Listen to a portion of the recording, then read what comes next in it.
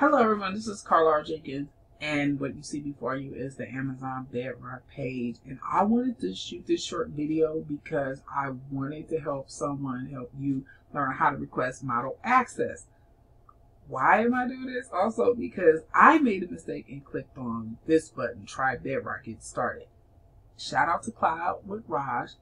He had a video where you request model access by opening up the left side. So you click this out and it comes out as Bedrock. I also want to let you know about what FM or foundational models are. So foundational models are like a foundation of a house and then you build a house on top of it.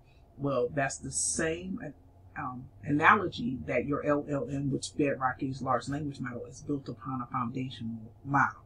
You click on model access and as you can see, it's loading. I have access granted.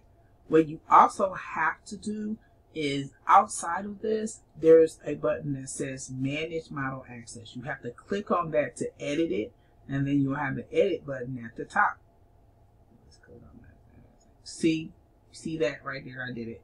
And then I have access to 15, 19, and as you can see, I have granted access. So I want to let you know that. In addition to that, you have examples. So these are some of the prompts here that you can use. And I've already finished one. Let's see. Do this. Maybe run it.